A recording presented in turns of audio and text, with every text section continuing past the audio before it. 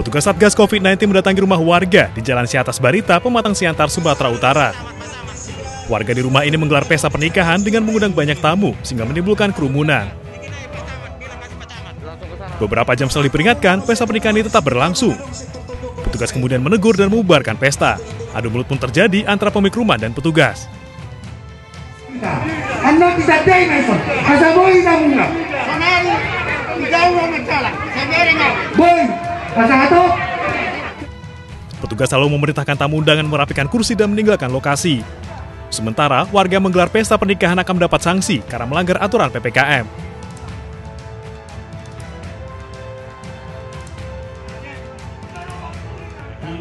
tidak bermaksud kami tidak bermaksud mengganggu 你懂了。